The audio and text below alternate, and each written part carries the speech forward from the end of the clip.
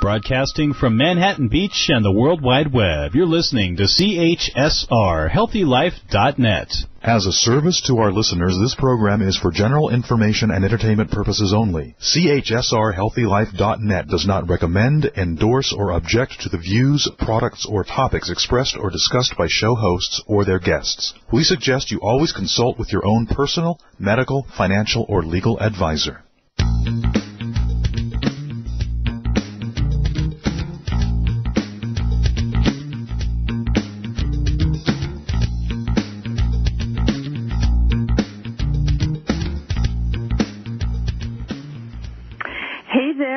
Welcome back to the Dr. Theresa Nicassio Show. This is a place of inspiration, education, and hope for a more compassionate and sustainable world. I offer this educational and inspirational show to you freely, but want you to know that your support really makes a difference please consider making a donation to support this program, which you can do right on the theresanicassio.com website, and where there's also information about advertising and sponsorship opportunities as well. Uh, feel free to message me through the contact form on my website, and that's theresanicassio.com, Theresa with an H, Nicassio with an N like Nancy, and two S's. That's T-H-E-R-E-S-A N-I-C-A-S-S-I-O. Or you can contact me directly by email at theresa at theresanicassio.com. Anyway, um, be sure to join us next week when naturopath Dr. Jessica Renfer will be joining us to talk about detoxing your body and how you can do so through safe and natural ways. And then followed um, the next week, uh, we're going to have Marco Aguiar who's going to be talking about mindful vacationing and how vacationing, I love this, uh, can be a powerful tool for personal transformation and discovery. And so we need an excuse, but it's going to be really a great show too. For today's show, it is live. Um, if you're if you're uh, listening right now as it's airing initially, so feel free to phone in during the program if you have any questions for today's guest. If you do call in, just let our producer Jay know what your question is so that he can pass it along to us during the break. And if we can, we will answer your question right on the air. For those of you in the U.S., you can call in toll free at 800 555 5453. And if you're outside of the U.S., the number is 310-371-5444. Uh, those numbers are on my theresanicassio.com website as well for your reference. All right, folks, this is a very special day. Uh, even though we've never met in person before, today's guest has personally touched my own life, as I know that he has also made a difference in many of yours as well. With us today is Dr. Alessio Fasano, the leading expert of celiac disease and non-celiac gluten sensitivity in the world. Dr. Fasano serves in many ways, including as a professor of pediatrics at Harvard Medical School and as the chief of the Division of Pediatric Gastroenterology and Nutrition at Mass General Hospital for Children. His courage to address a blind spot in the medical field and to fiercely advocate for a subset of the population who were mysteriously suffering energized Dr. Fasano's passion for his visionary research. His work that established the rate of celiac disease at that time to be 1 in 133 people led to the awareness of celiac disease as a growing public health problem in the United States. Dr. Fasano founded the Center for Celiac Research and Treatment in 1996, where he treats adults and children for gluten-related disorders. Dr. Fasano is passionate and I love that he's a passionate advocate for collaboration in research and clinical work, doing amazing work, and has recently authored a book called Gluten Freedom. That's a practical resource for patients, healthcare providers, and general readers, um, offering accurate evidence-based information about gluten and how it can affect your health. Dr. Fasano is widely sought after as an expert in celiac disease intestinal permeability, you probably know it as leaky gut, and autoimmune disorders, and has been featured in media outlets around the world, including National Public Radio, the Wall Street Journal, New York Times, Washington Post, Daily Mail, Elle, Time, and all kinds of other online and media outlets. And now we are privileged that Dr. Fasano is here with us today to talk about um, kind of what's the most cutting edge information about gluten immunity and the gut. Alessio, welcome to the show, and thank you so, so much for joining us. Thank you for having me on your show. Yeah, this is really wonderful. And and you know what I like to do, Alessio, with everyone who comes on the show is is uh, kind of talk about the why, where where the passion comes from, because it doesn't come from a vacuum. And so I'm wondering if we could start, if you'd be willing to start with sharing a little bit about where your passion uh, for gluten research came from. Uh, now, there's got to be a story there. Oh, sure it is. Uh, it's it's um, it's uh, a journey of wisdom uh, and serendipity, if you wish.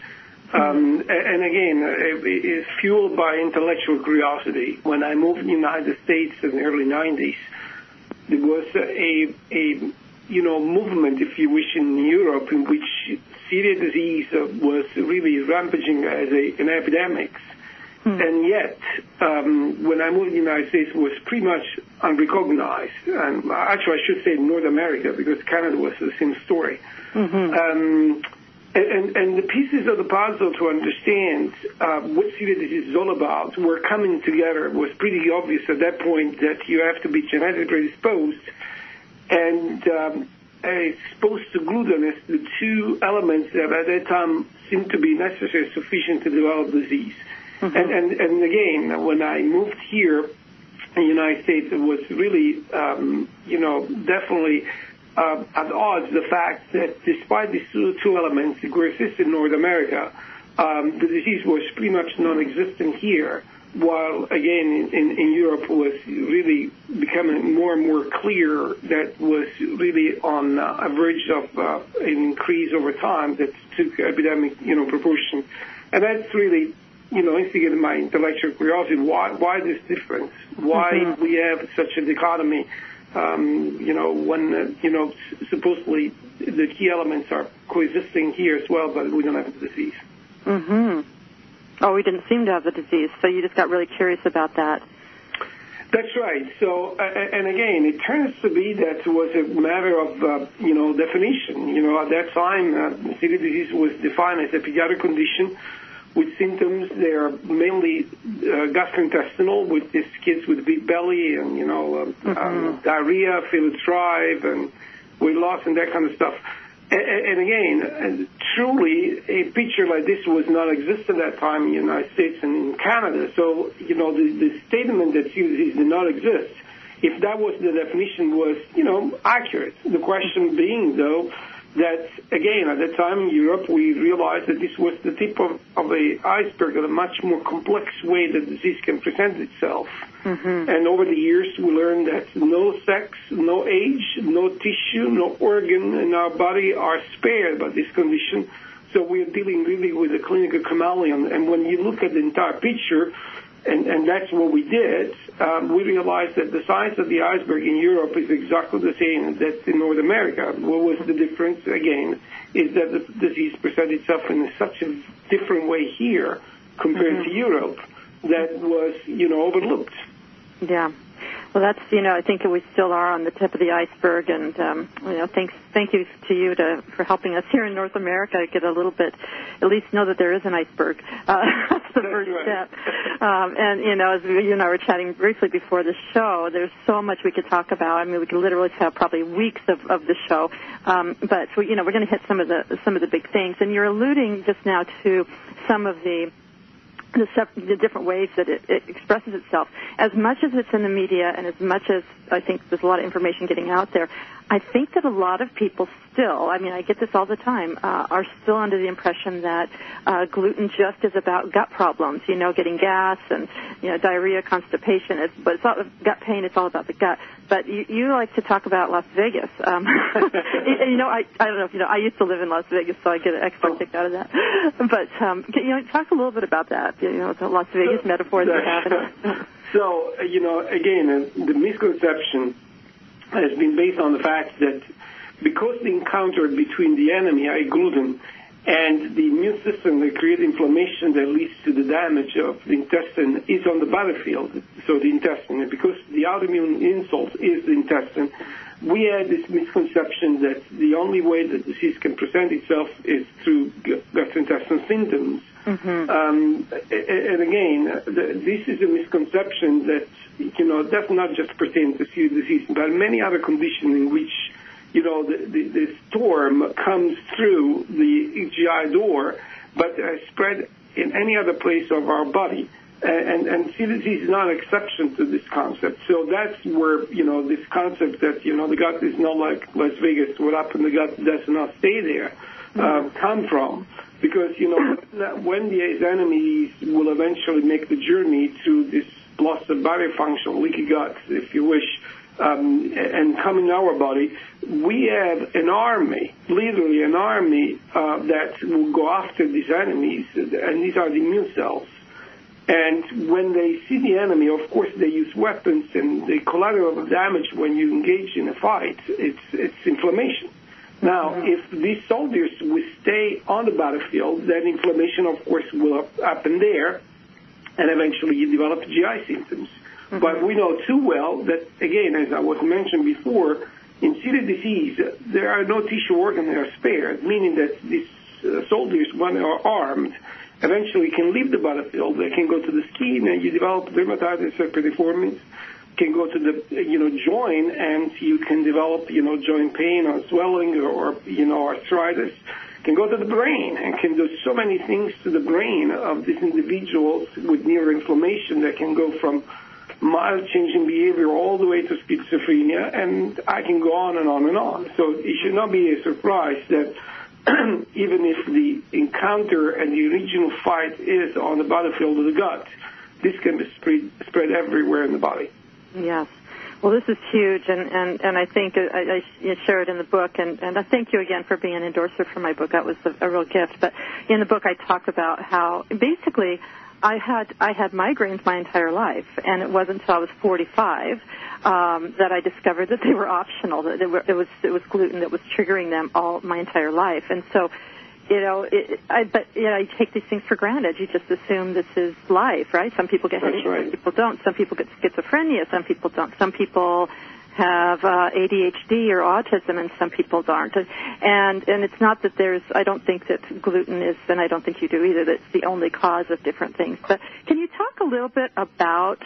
If we can just kind of take a couple steps back about, you know, what this thing gluten is, and and let's let's instead of talking because when we talk about celiac disease, um, which is, you know, you I know you talk about how we can actually develop celiac disease. I think even perhaps even without the, I'm not sure if we can, uh, we can out of the question, uh, without this genetic predisposition.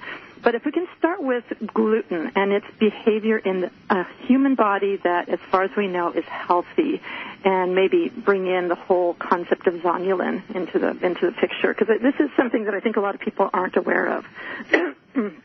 That's right. So um, gluten is a protein. Actually, it's a mixture of proteins uh, coming from different grains, including wheat, rye, and barley. It is the largest protein component, actually, these grains. And, you know, p- provide some uh, very specific uh, characteristic uh, to these grains, particularly elasticity when uh, mixed with water and yeast. And that's the reason why you can do with wheat stuff mm-hmm. that you can do you cannot do with rice or maize, for example. Uh, so, you know, bread and, and the pizza and, and uh, the pasta and so on and so forth. Um, like any proteins, you know, um, gluten can be considered as a sort of pearl necklace. Each pearl are this single component protein that we call amino acids. mm-hmm. And in order to make use of any protein that we ingest with the diet, the first thing that we need to do is to break this pearl, pearl necklace in pieces mm-hmm. that we call peptides. And then eventually peel off one pearl at a time, i.e. amino acids, so that we can absorb them. And the destiny of these amino acids, when they are absorbed, they, they can either be used to generate energy, so they are burned to have energy produced, or they can be remounted based on our genetic, you know, program uh, for, to make proteins of our own body. Mm-hmm. Um, now, what is peculiar about gluten is it's the only um, you know, dietary protein that we cannot completely digest. Mm-hmm. So we don't have the scissors, so to speak, to cut this in the small pieces and then peel off the single amino acid as we do with other proteins. And this is probably due to the fact that, evolutionarily speaking, we're not destined to eat gluten that came into the picture only recently, only 10,000 years ago of our 2 million years plus of journey of evolution on the face of the earth. Mm-hmm. And therefore, we don't have digestive enzymes that can really completely digest enough gluten. Mm-hmm. And um, some of these undigested fragments of gluten, um, they have some interesting, you know, properties. Um, and, and, again, um, are seen by our surveillance system, particularly the immune system, as possible danger enemies that are attacking our body. And matter of fact, the more we study these fragments, the more we realize that they are perceived by our immune surveillance as fragments of microorganisms that can harm us. And therefore, the immune system unleashes the same weaponry that we, we do when under attack of a microorganism that can infect us. Mm-hmm. One of these fragments is capable to communicate with the cell that lying on the surface of the intestine to release this molecule that you mentioned. It's, called zonulin that has the capability to modulate the permeability of the gut. So imagine, uh, you know, the gut with this single layer of cells like a sort of wall around the uh, castle or medieval city so that you're protected against enemy, but you have to find a way to have merchandise and friends to go in and out.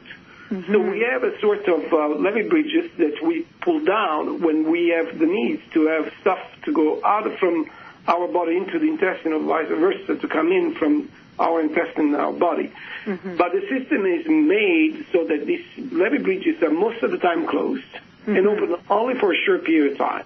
That's mm-hmm. what is the job that zonulin does. It opens up this, uh, you know, space in between cells to allow this trafficking to occur. Mm-hmm. The problem arises if these gates are stuck open and not close immediately and go back to the parallel of the medieval city. Now you don't have protection anymore. And stuff mm-hmm. can come in all the time. Mm-hmm. So, so yeah. mm-hmm. uh, has this peculiarity that has fragments that can communicate to the cell to instigate the release of zonulin, therefore to make the intestine leakier. Mm-hmm. Now, this machinery is operative in all of us. But there's a huge difference between the vast majority of people in which they turn on and off the system very quickly when they are exposed to gluten, while there are others, like the ones that suffer gluten-related disorder, particularly celiac disease, in which these gates they come down and they got stuck open for a long time.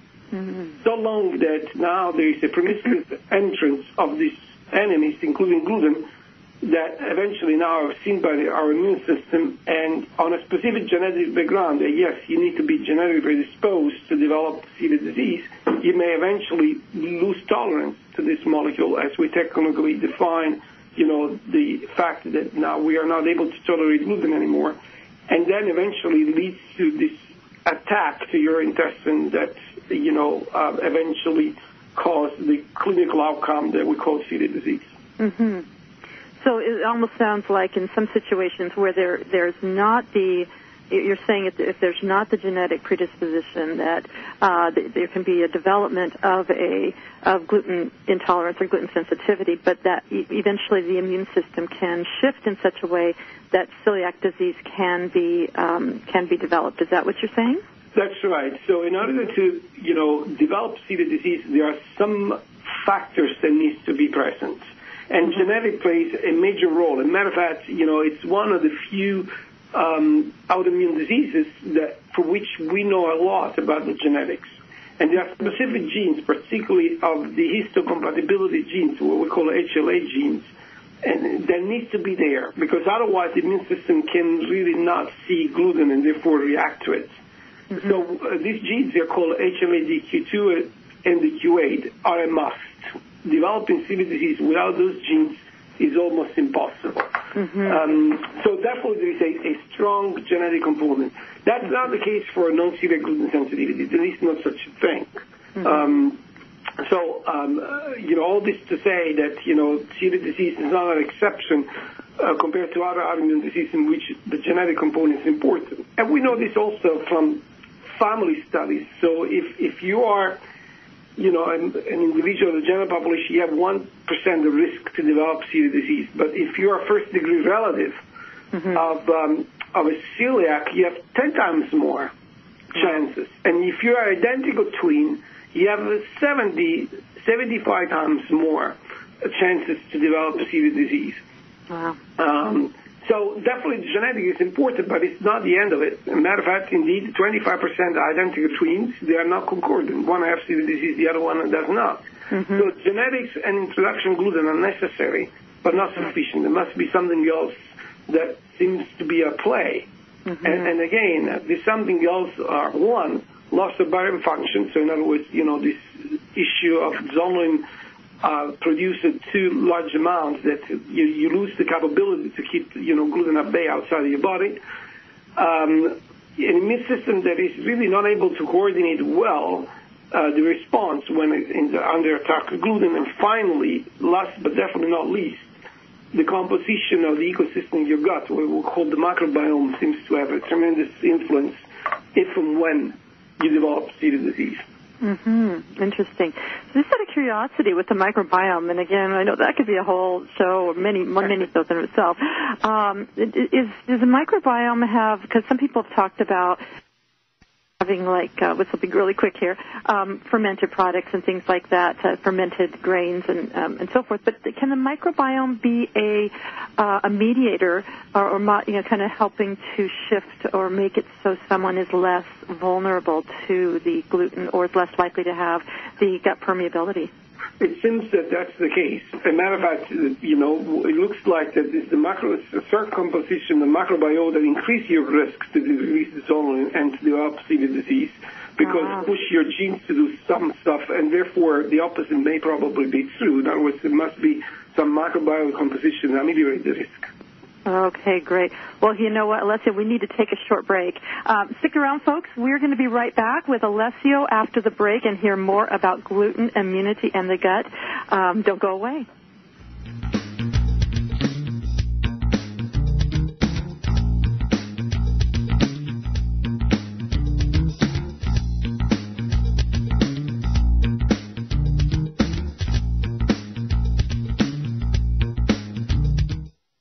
Inspired by a speaker while learning everyday positive information that you can use to help your life is exactly what Dr. Theresa Nicassio does when she speaks in front of your group. From healthcare professionals to special needs parenting and everything in between, Dr. Theresa Nicassio can customize topics for your group on everything from health to psychology. To book Dr. Theresa Nicassio as a speaker for your group, visit yumfoodforliving.com or call 604-445-6463. That's 604-445 6463. For all your live or pre-recorded webcasting needs, come to earthchannel.com. Get your web-based message out to a select group or the whole world. It's easy. A pioneer in webcasting, earthchannel.com provides the best products and services to big corporations and government users. And now this same technology is available to you. They have the best Earthcast encoders, servers, and products to meet your technical needs. But wait, don't want to mess with technical stress? No problem. They'll do it for you. EarthChannel.com is your answer. You can use webcasting for lots of things like advertising, marketing, customer support, training, and don't forget web radio and TV. In fact, you're listening to a live Earthcast right now. So come to EarthChannel.com. Actualize your audio or video webcasting needs today. You can't beat the friendly service or the price. Call earthchannel.com at 1-800-849-8978. That's 1-800-849-8978. YumFoodForLiving.com is the place to get easy allergy-free recipes, all free of sugar, gluten, and dairy. But that's not all you'll get when you visit YumFoodForLiving.com. You'll get resources for all kinds of things like wellness articles, videos, podcasts, a blog, all to help you create easy, healthy living. There's even a 50-page downloadable book introducing you to the philosophy of Yum. Don't wait. Visit yumfoodforliving.com. Yumfoodforliving.com. That's yumfoodforliving.com. If you like to spend your television viewing time learning about some of the things that you may have missed in history class, or if history was your favorite subject, then you should check out the link to the History Channel on the HealthyLife.net advertiser page. Order DVD sets by series or by subject matter right from our homepage while you still enjoy your favorite HealthyLife.net show. You're listening to HealthyLife.net, the radio network that brings positive talk with positive change to make your world a little better.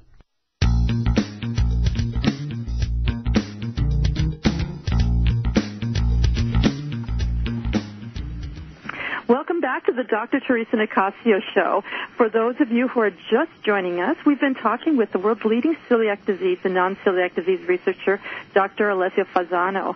Um, so, Alessio, before the break, um, you know, we started talking a little bit about the microbiome and and how it might be a mediating factor, can be a mediating factor uh, with regard to um, the expression of celiac disease and, and gluten tolerance, uh, intolerance, and um, leaky gut and that kind of thing. Can can you uh, talk a little bit more about that? Because there's lots to talk about. I know.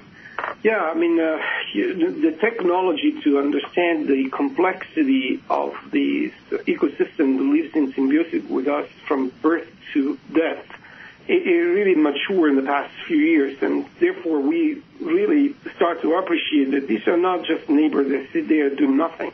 They have a tremendous amount of impact on who we are and how our genetic potentials will translate in clinical actuality. So, you know, in studying the microbiome, and particularly the microbiome composition in celiac disease has been quite a model for us to study. We learned what was probably until the recent past unconceivable and unthinkable. The fact that you're born with some genes, for example, to develop breast cancer or Alzheimer or, you know, uh, type 1 diabetes, MS, is not destiny. It's not that you will, for sure, you will develop the disease. If you do or do not, really depends on the lifestyle that eventually impinge upon this, you know, community of uh, microorganisms that in collectively generate 100, 150 times more genes than we do. Mm-hmm. And they cross-talk with us all the time. And in doing that, can influence if and when and how our genes will go from quiescent, dormant, to active, and therefore switching from a potential to the actual clinical outcome. You know, it is fascinating. This is what we call technically the concept of epigenetics. It's, mm-hmm. it's fascinating that these genes may stay there and not have clinical consequences. And eventually, you know, uh, our lifestyle events that will eventually uh, change the composition, of this microbiome, changing diets, uh, traveling, use and abuse of antibiotics, eating uh, stuff that is not really food, may eventually change this very dynamic and by yet finely tuned balance of who lives with us.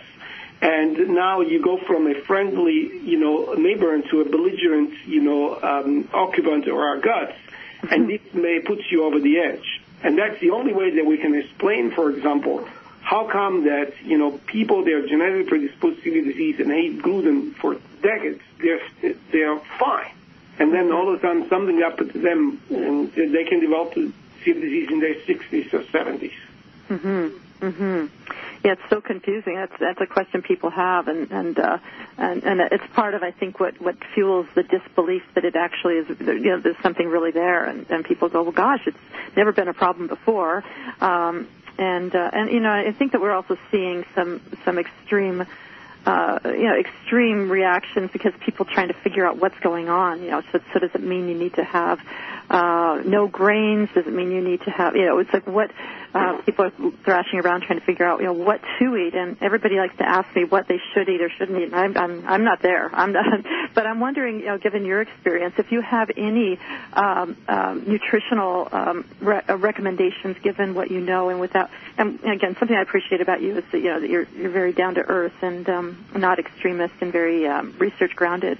But if you have any, any just if you're going to talk to your kid or, or, or you know, talk to a mom who has a kid with ADHD or autism or seizure disorders or, or there might be a propensity or um, a genetic risk for psychosis, what, you know, what would you recommend uh, for, say, parents out there?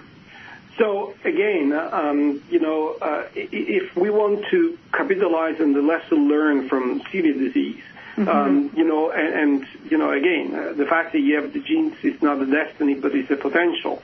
Uh, of course, we cannot change the genes. We tried actually to edit our genes by doing genetic manipulation, and we failed miserably. Plus, it would be too risky to do that. Mm-hmm. But if there is any way that we can plastically, you know, change if and when these genes will be put at work, uh, through the composition of the microbiome, that's a much more feasible, you know, proposition. Now, the question and the challenge actually is to understand what kind of composition of microorganisms that lives in my gut may eventually touch my, you know, genes and put my predisposition to develop ADHD or schizophrenia or, or, or depression or, you know, um, seizure disorders or psychosis, whatever, mm-hmm. at work so that I develop it. So we really are in the, let's say, homework kind of stage, because when we will learn what is the composition that, of this ecosystem that really put me over the edge and make me developing, you know, um, this kind of condition, then I have a target. Then I can eventually say, okay, if indeed this went wrong, and made you know this uh, microbiome to crosstalk with my genes and and and you know put me now over the edge and develop ADHD. Now I know what I can do to rewind the tape, so to speak, and bring me back in business by mm-hmm. changing the microbiome composition, my diet, using probiotics, prebiotics, synbiotics, whatever you know is possible, and say, okay, I want to go back when we were not in a belligerent relationship and bring these so that we can eventually bring these people back. And, and again, it's a very ambitious, um, far from uh, being actuality, but at least we have, you know, the tools uh, mm-hmm. to eventually um, try to find, you know, specific targets to achieve that. That mm. again seems to be uh, you know, far from, you know, um, actuality, but this is a, a, future that is coming, and it's coming fast. Mm-hmm. So I would not be shocked if indeed we will be able to recover, you know, and, and bring back to us people that were lost, uh, you know, because of development of these conditions uh, with, you know, a travesty consequences in their own life and the life of their families. Mm-hmm, absolutely. Is there any are you are you or anybody you know uh, involved in research studies? And particularly, I'm really interested. I'm excited about probiotics. That's like one of my one of my passions and curiosities. And um, but it, it it feels a little bit like Russian roulette, or you know, it's like you know, right. which which of these you know uh, strains might be you know particularly good for this, that, and the other. Is there? In, are you familiar with any research going on around that? Yeah. Again, uh, ultimately, the goal is indeed to find targets, but if we don't know what is missing or has been altered in our microbiome to eventually go for an intervention with specific probiotics, it's like shooting in the dark. Now, yeah, exactly. That, That's what it feels like. Okay, kombucha, right. or but, you know, but, what is but, it? You know, say that I have to say that targeting the microbiota to make changes that can really be impactful you know, there are proof of concepts. We, together with some colleagues at the University of Texas, and not, not long ago, we published a paper that I believe is very provocative, in which we did fecal transplants on autistic kids. Mm-hmm. Um, and the, outcome of these transplants, not only these kids, you know, improved their GI symptoms because they were suffering some GI issues, but they improved in their behavior. Um, and, and this improvement was sustained over time, even after weeks, I should say months, of the transplant. Uh, now, does this mean that now we have a solution for all this? No, not yet. But at least it tells us that targeting the composition of the microbiota in the gut is definitely a valuable possibility that may eventually have dividends yeah. once we understand a little bit more what's going on in there. Well, you know, it seems like it's a it's a really interesting thing, the, the whole fecal transplant question. And I remember you know, long was that research about the, the the fat rat, skinny rat, right? Where they That's where they right. you know exchanged some of the um, the flora from in, in each of them, and then they they swapped. You know, the one that was fat became skinny, and the one that was skinny became fat. And you know, it just it raises so many questions. Yeah, indeed, indeed. I, I really do believe that again. Uh, the, these are all proof of concept that seems, you know, that you know, changing your metabolism, uh, targeting specific genes, uh, in other words, affecting who you are, can really have uh, the microbiota as a possible target. Yes, great. Well, you know what? Um, we, uh, Dr. Fasano uh, will be back with us after the break, um, unless you hang in there. Uh, we have more segments with him, and we're going to interweave some of your questions uh, the, the, because you asked in the next two, because there's so many questions that came in. So don't go away. We're going to start asking some of your questions and, and hear more of uh, Dr. Fasano's wisdom after the break.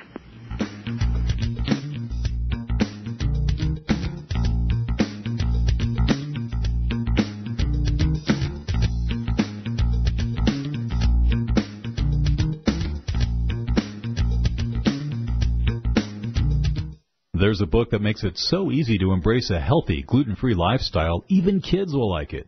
Filled with heartwarming stories, food as medicine health tips, easy allergy-free recipes, and creative culinary inventions, the award-winning book Yum by Dr. Theresa Nicassio is your source for all of this and more. So make gluten-free living easy, tasty, and fun.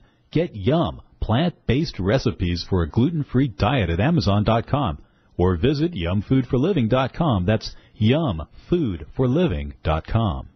What does HealthyLife.net and Amazon.com have in common? Well, they're both available on the internet. They both give great value. But most important, most of our positive program hosts and guests are accomplished authors, and their books are available from, you got it, Amazon.com. Now it even gets better than that, because when you're listening on air to a HealthyLife.net host or guest, you can go directly to Amazon.com and you can order your book while you're still listening to your favorite HealthyLife.net program. So when you hear an author you like, go to the homepage of HealthyLife.net and click on Amazon.com.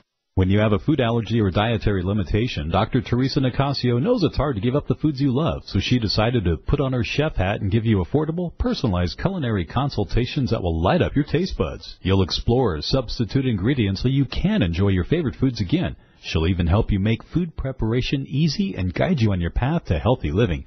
And to get started, all you have to do is call 604-445-6463. That's 604-445-6463. HealthyLife.net, the positive radio network. YumFoodForLiving.com is the place to get easy allergy-free recipes, all free of sugar, gluten, and dairy. But that's not all you'll get when you visit YumFoodForLiving.com. You'll get resources for all kinds of things like wellness articles, videos, podcasts, a blog, all to help you create easy, healthy living. There's even a 50-page downloadable book introducing you to the philosophy of Yum. Don't wait. Visit YumFoodForLiving.com yumfoodforliving.com. That's yumfoodforliving.com. HealthyLife.net, the positive radio network.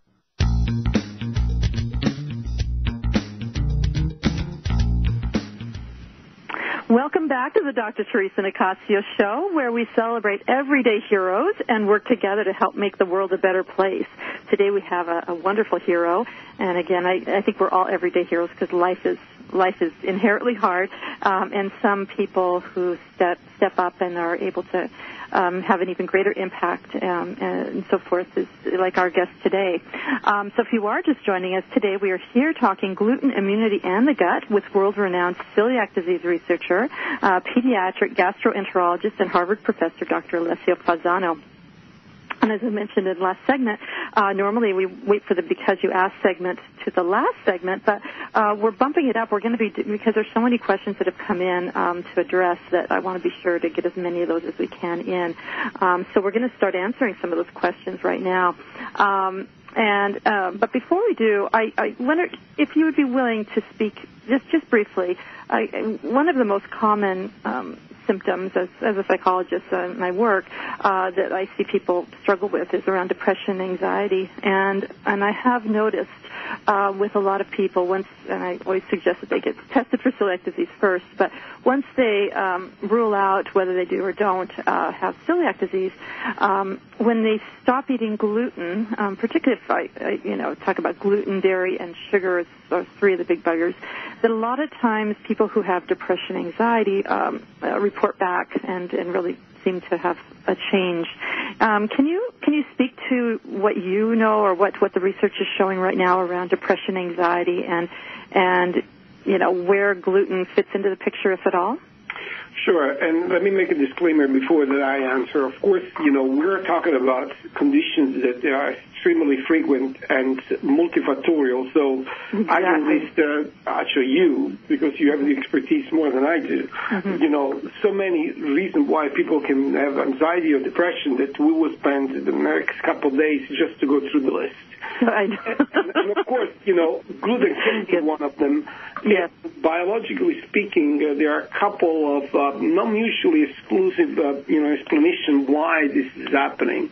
Um, you know, um, they start with the same premises that we discussed this before. So you ingest gluten-containing grains. Uh, gluten is only partially digested, and some of these fragments that are not digested eventually uh, will cross the intestinal barrier through a leaky gut. So these steps are common to this couple of uh, possible theories. Mm-hmm. Now, from here, there are you know uh, two different visions of the story. One that suggests that this fragment will go into the bloodstream and reach the brain through the blood-brain barrier, and because they are structurally very similar to chemicals that control our behavior that we call endorphins, a matter of fact, these are called gliadorphins, they can interact with the same targets that uh, endorphins they uh, go after, and on a specific genetic background, you can develop, you know, changing your behavior. That again can go from, you know, something very mild, uh, or you know, like short memory loss, to ADHD, autism, schizophrenia, depression, anxiety, and so on and so forth. Um, an alternative theory, again, has the same first steps. They are in common. So you ingest gluten-containing grains. They are partially digested. They sneak in through a leaky gut. And here, the immune system sees the enemy and starts, you know, to fight. And as I mentioned before, some of these immune cells, you know, are programmed to leave the battlefield and go somewhere else. And this hits the brain and creates a situation neuroinflammation. And depending where this neuroinflammation materializes, meaning who you are genetically, you can have these different outcomes. Mm-hmm. Right. Okay. Great. Yeah. And, and uh, obviously, there's there's a multiplicity of, of causes for these things, but it's it's uh, it's always nice to rule out something you actually might have some control over. Um, and uh, yeah. So so. How about we shift to one of our um, questions? This is this is one that I, I have a lot of questions, but there's a few that I think we really need to hit upon. Uh, this is someone who wrote in and asked, "Can you tell me if celiacs can live a long, healthy life similar to those without celiac disease?" I have been recently diagnosed, and my son is in the process of being tested. Thank you. Absolutely. Actually, that's the normal destiny of an individual diagnosed with celiac disease that will comply with the diet. Mm-hmm. Um, unless there are complications that materialize, you know, in some, um, you know, very specific circumstances, an individual, you know, um, diagnosed with celiac disease that comply with a gluten-free diet will have the symptoms that will resolve, the damage of the intestine that characterize the autoimmune insult to celiac disease resolved, the uh, disappearance of the autoantibodies or the biomarkers of the autoimmune process. So they will become totally non-distinguishable from people in the normal general population. And the other thing that we know as a fact is that while life expectancy, um, you know, um, in uh, in uh, individual with celiac disease not treated is shorter, so in other words, there is increased risk of mortality. If you go on a gluten-free diet, life expectancy is exactly the same as the general population. Oh, that's fantastic to know. Well, you know, that, that leads me to another question that many people have asked. I'm just going to make up one because it's uh, that so many people have asked this question. Is you know, once you are diagnosed, now so some people who have written that say that they've been diagnosed, and then um, and then they're wondering how long it takes to uh, feel better to to you know have the symptoms go away how they you know for the gut to be not just the gut to be healed but maybe some of the other um, implications maybe if there's been some uh, leaky gut that's gone into some of the other tissues and other organ systems uh, and there's some people who even after years say that they still don't feel like they've they don't feel they still feel out of whack. Uh, can you speak a little bit about that? And again, I know this is a this is a loaded question, and there was some recent research you guys have done around with children that uh, maybe you can share about too. That's right. So again, unfortunately, we're talking about a target organ that is, you know, extremely l- long. Um, in an adult, we talk about roughly 20 feet of intestine, and in kids it is a little bit shorter, but still we're talking about a very large, you know, organ. So when we do the diagnosis, we look at the very, very first few inches of this long tube.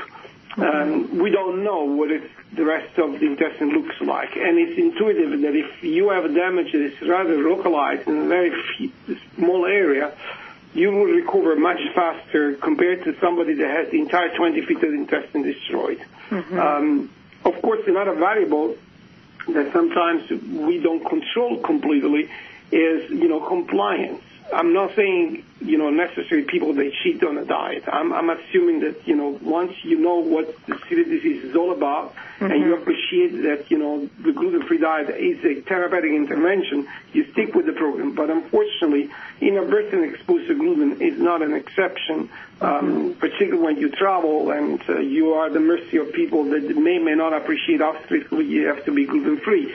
Mm-hmm. And that translates in the fact that even if you feel that you're really stick with the program, you still have exposure to minuscule amount of gluten that parenthetically would do the same damage than uh, compared to if you just eat, you know, unrestricted diet. So mm-hmm. even minuscule amount can really, you know, keep you uh, uh, off balance, so to speak, and keep the damage in the intestine there. And, you know, going to what you just mentioned, we just you know, published, and, uh, and I say very surprisingly, the fact that, you know, up to 20% of kids, they stick with the program, the diets, mm-hmm. and even if the symptoms are gone, but even more so if the symptoms are still there, they still have a damaged intestine. Um, meaning that you know there is still you know the possibility that there is you know a continuous damage, and that fuel a, a, a total different line of research, a new um, complementary treatment to the gluten-free diet on the pipeline, and some of them are reaching the phase three trial. Mm-hmm. Yeah, it's pretty complicated. So that 20%, when you're doing that research, how how how long after how? Um, oh, this is after a year on a gluten-free diet. So these okay. people should be already taken care of. Right, right. So not sure why. All right. Well, we got we got one more segment, guys. We're going to have to um, uh, close this segment, but don't go away. We're going to be right back with Dr. Alessio Fasano talking more and answering more of your questions about gluten immunity and the gut. Don't go away.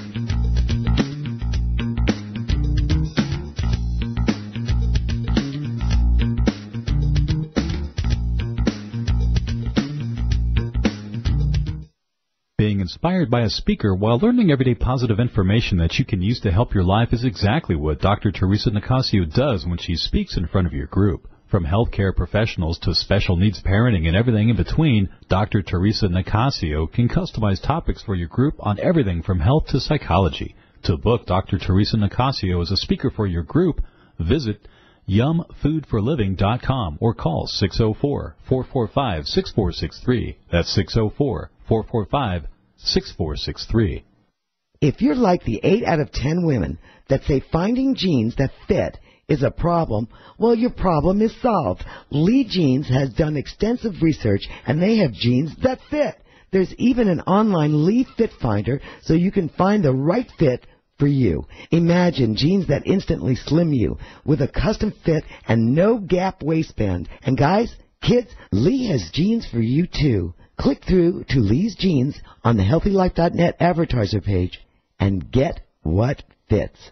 When you have a food allergy or dietary limitation, Dr. Theresa Nicassio knows it's hard to give up the foods you love, so she decided to put on her chef hat and give you affordable, personalized culinary consultations that will light up your taste buds. You'll explore substitute ingredients so you can enjoy your favorite foods again. She'll even help you make food preparation easy and guide you on your path to healthy living. And to get started, all you have to do is call 604-445-6463. That's 604-445-6463.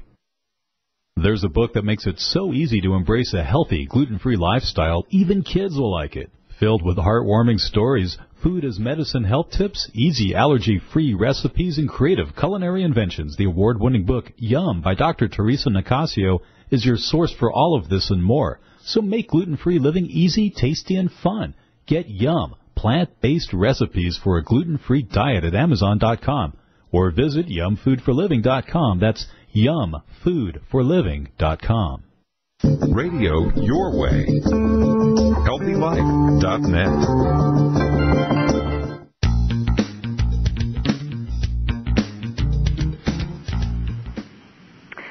back to the Dr. Theresa Nicassio show. For those of you who are just joining us, we are here with Dr. Alessio Fasano, uh, the, a wonderful gastroenterologist who is sharing information about gluten and immunity and the gut, and we're answering some of your questions Um, and so I, I'm going to jump to another question right away, uh, Alessio. It, that keeps coming up in different ways. I'll just I'll just pick one one of the questions that came in. I have heard stories about friends of friends of mine who say they are gluten intolerant, but they can go to Italy and eat lots of pasta with no bad symptoms. Sounds to me like an allergy or something in North America. Comments? Thank you. Uh, we don't know for sure. Actually, you know, I'm aware about this kind of um, um, you know, experience that many individuals uh, of our patients they have when they go to Europe and seems to tolerate much better the grains there compared to here. Now, again, um, if this is due to different cultivars, i.e., different strains of wheat that they have there, or you know the um, the use of pesticides and uh, how much are allowed and how much are not.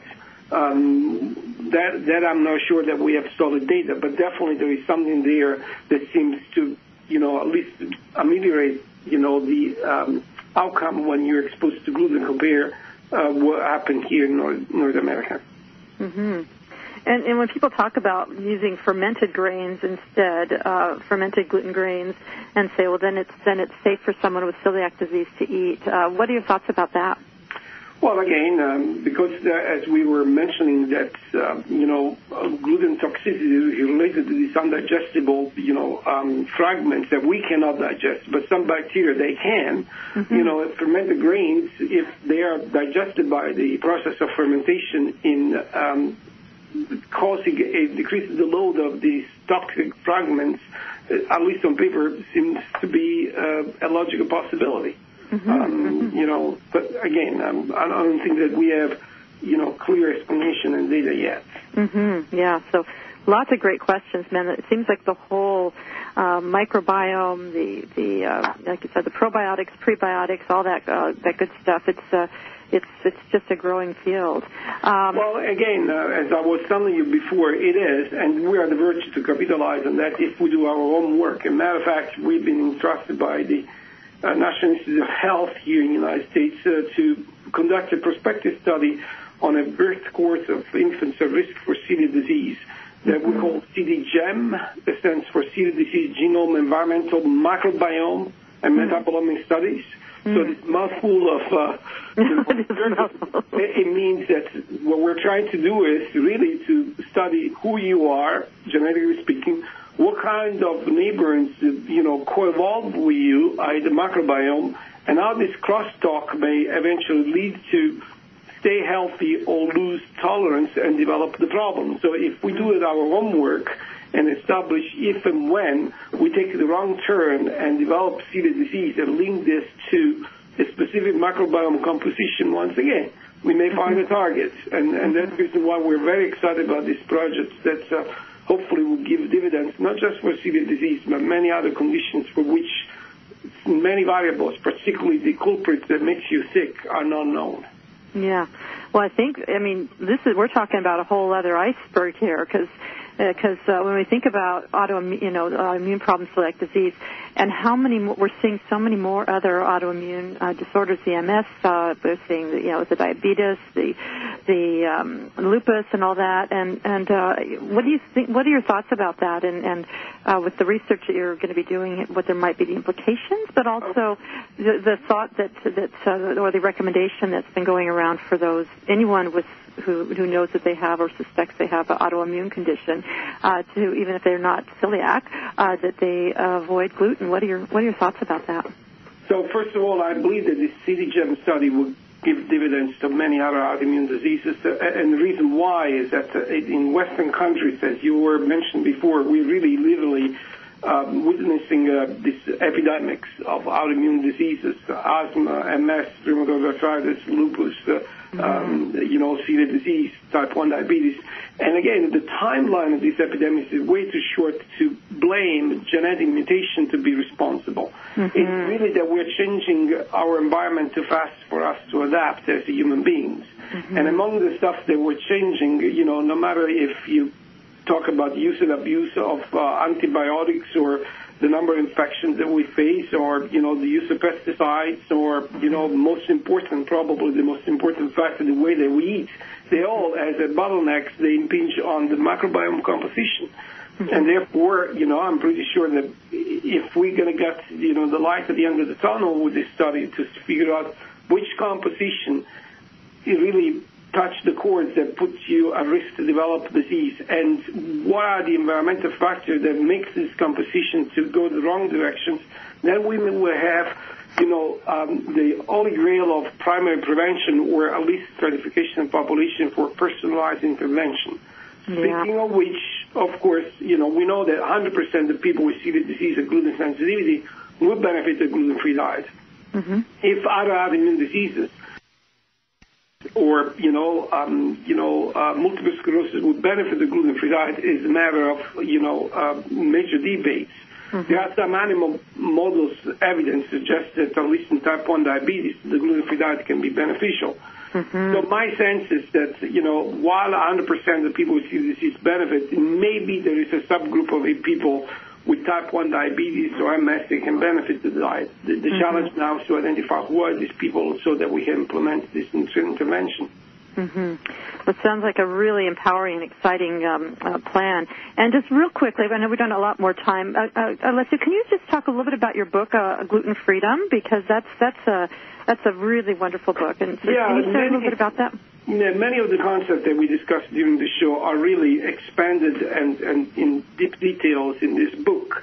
Uh, this book uh, that you know we wrote, I worked together with Susie Flaherty. It's it's just uh, um, you know, had the goal to really be factual, to you, know, make the record straight in terms of, uh, you know, uh, what is uh, fact and what is fantasy in terms of gluten and who should go on a gluten-free diet, what are the impacts of the immune system, and so on and so forth. So again, if you're curious and you want to expand a little bit more what you heard during the show, I think that the book is not only factual but down to earth. It's, it's uh, you know for the general readership and not for only you know professionals. So right. you know this is something that you can grasp. No right. And and the and the proceeds of the book uh, go they go to your research, right? Or that's right. 100 percent. No, neither Susie or I will put anything in the pocket. They all go back to research so that we can have the chance to be invited in shows like this and share our exciting research.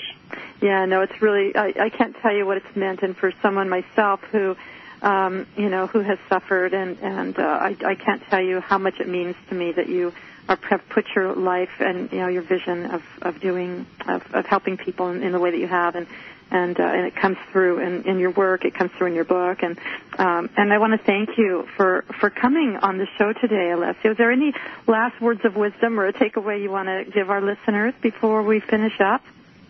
Well, again, uh, I want just to first of all, thank you for inviting me on um, the show and, and brainstorm with you about you know our line of research. And uh, I have to say again that uh, you know um, I don't think that we have to portray the gluten as the enemy that needs to be fought so that uh, we can survive as a human being. But at the same time, you know, some word of wisdom is that you know there are people besides celiac and gluten sensitivity that may benefit on a gluten-free diet. We'll see. We'll see how it All right. Well, thank you all for, for joining us today. Bye. Um, I'm Theresa, and this has been the Dr. Theresa Nicassio Show. Thank you, Dr. Alessio Fasano, for joining us, and I hope you all have a great week.